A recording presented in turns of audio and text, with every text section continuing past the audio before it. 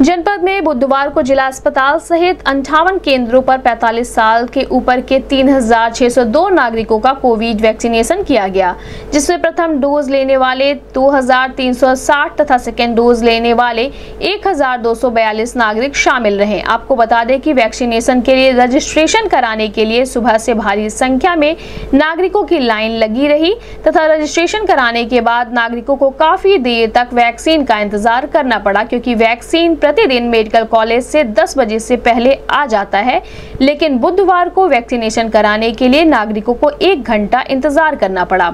वहीं वैक्सीन आने के बाद लोगों ने राहत की सांस ली तथा बारी बारी से लाइन में लगकर अपना वैक्सीनेशन करवाया।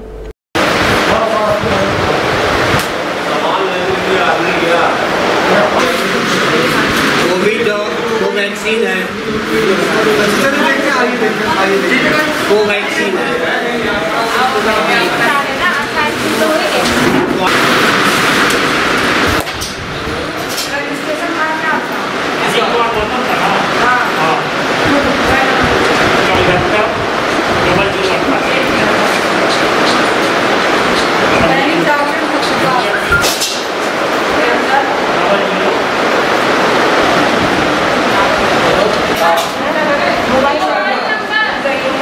छब्बीस